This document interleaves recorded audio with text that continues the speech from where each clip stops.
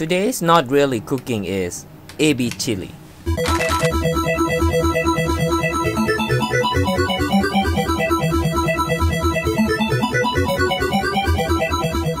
So today I will make the Chinese food is uh, shrimp with chili sauce.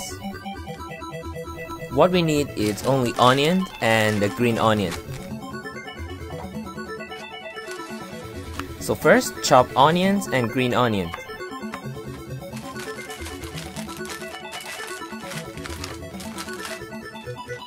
Inside the pack it has shrimp and sauce and also the chili sauce. But today I'm not gonna put the chili sauce because I have to share the food with my uh, family, which they don't like spicy.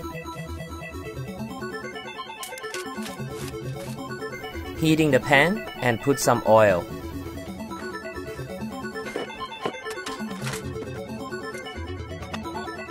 When the pan gets hot, put chopped onion. Then add the shrimps.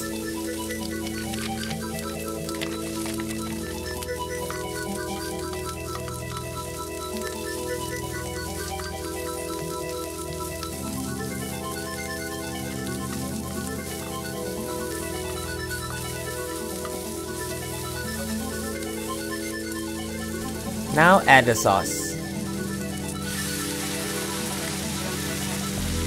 Keep stirring, then add green onion.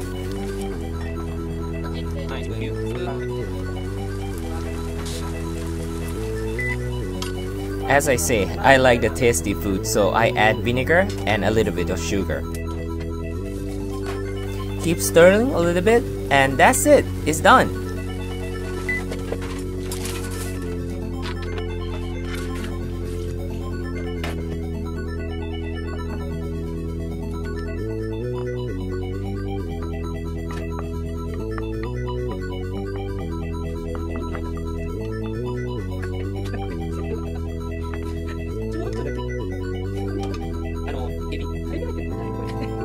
Put on the serving plate and voila, you got the Ebi chili.